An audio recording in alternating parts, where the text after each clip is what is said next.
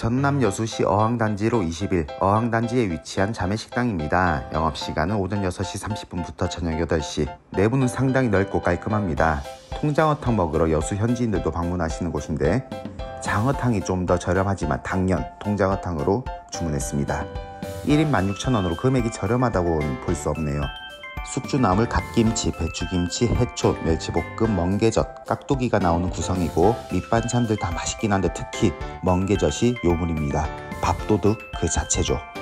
바다장은 내장과 함께 끓여진 통장어탕, 된장 베이스의 구수하면서 시원한 맛이고 시래기도 많이 들어있어 푸짐하게 먹을 수 있습니다. 구수한 통장어탕에 다진 마늘 넣어 칼칼하게 먹어도 잘 어울리고 소울 충만하게 밥 말아 먹어도 꿀맛이죠.